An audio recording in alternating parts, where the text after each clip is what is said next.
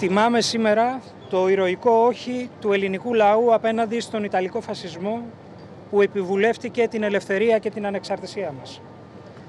Τιμάμε τους ηρωικούς άνδρες και τις ηρωικές γυναίκες της εθνικής μας αντίστασης που θυσιάστηκαν και αγωνίστηκαν απέναντι στον κατακτητή και τους ντόπιους συνεργάτες του.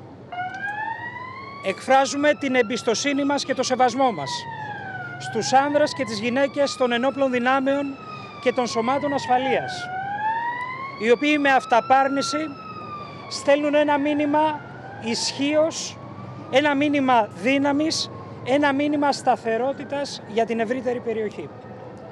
Οι διαφορές μας με τις γειτονικές χώρες μπορούν μόνο στη βάση του διεθνούς δικαίου να επιληθούν.